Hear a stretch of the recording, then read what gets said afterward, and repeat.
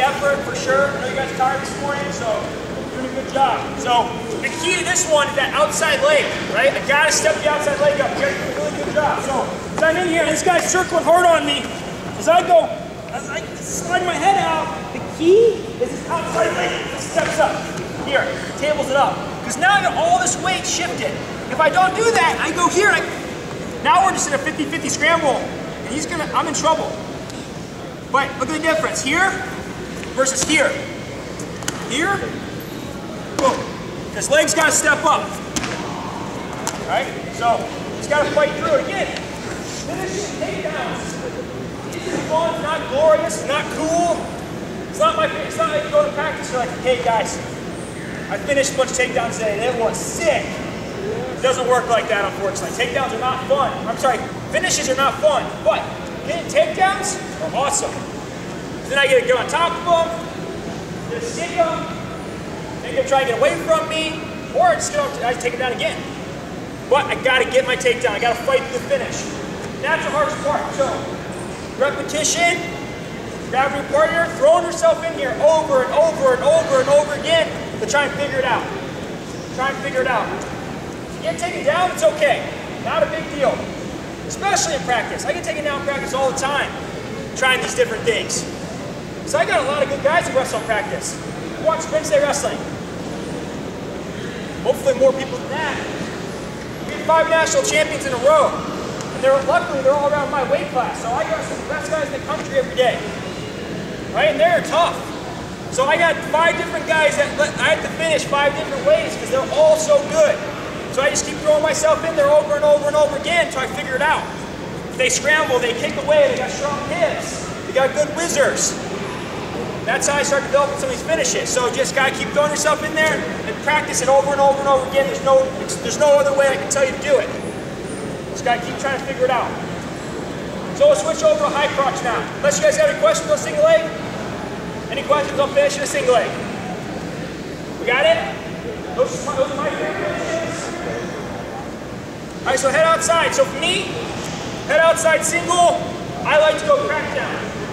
Crack down's kind of a position for some people, but if I have a plan and I know what I want to do, it's very effective, right? Very effective. So the key to a crack down is my shoulder. My shoulder's got to stay tight to his thigh. If I crack down, I learned this lesson really hard. My freshman year, I was undefeated in the NCAA finals. I thought I was untouchable. Shot a head outside single, I cracked down really lazily, I got cradled, I got pinned. Worst day of my life. It sucked so bad. So I learned really hard that I should probably keep my, my shoulder tight to his leg. So I learned the hard way. So I don't want you guys to learn the same lesson I learned. So I'm telling you now, back the way down, keep your shoulder tight to his thigh. Say it again. What do you gotta do? Shoulder tight to his thigh. You guys got it. You guys are way better than I am. So I shoot my high crotch again. We're gonna start in on a high crotch.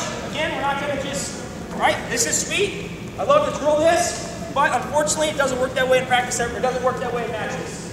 Sometimes I'm just gotta fight, claw, poke him in the eye, and then shoot my shot, and he sprawls on me, and I'm, I'm in this position, and this is no fun.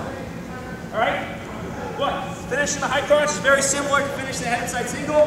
Head up, chest straight, right? So what I want to do is I'm trying to build this guy up, and then I'm gonna I'm gonna punch like I'm doing a trying to punch my knee, I'm to drive his hip to the ground. So I'm to drive up, and I'm going to punch. As I punch, I'm going to rotate, and I'm going to get my shoulder to his thigh.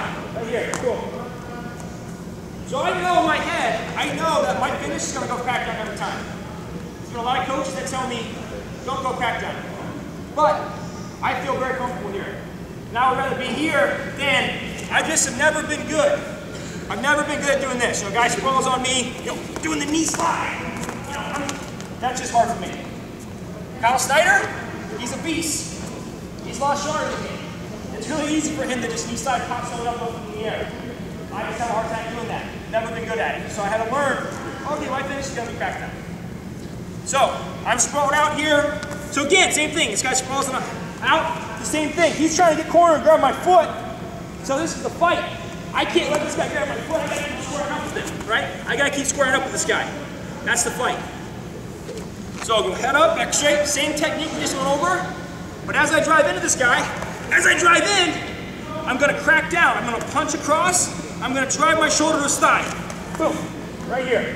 This outside foot swings up, because if I do this, a guy with good hips is gonna sprawl, his legs will come back, and I'm back in the same position.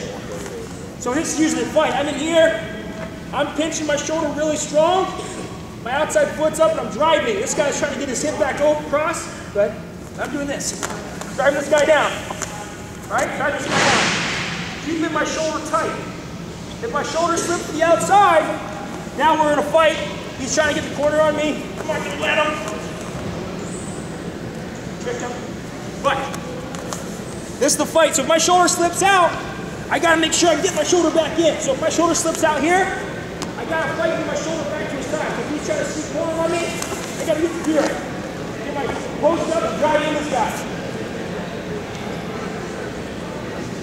You understand that? Shoulder tight. So partner, I want you, so I want you to try and the corner. So we're going to go out and just get the crack down. So,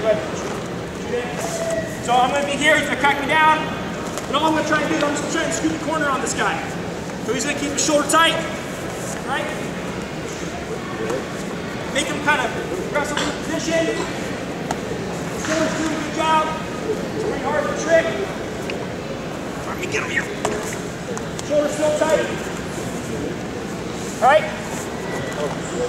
So just play around there for a couple seconds. Defensive guy, me, my job is just trying to get his shoulder out. So he's gonna, again, don't take a bad shot to start. Nope, just don't just start in there. Start in, I'm sprawled out. I'm trying to get the corner. He's gonna square up with me, square up, crack me down. Keep that shoulder tight, good job. I'm just gonna try and scoop the corner, get a shoulder out of here. He's gonna keep his shoulder tight. Right? That's the drill.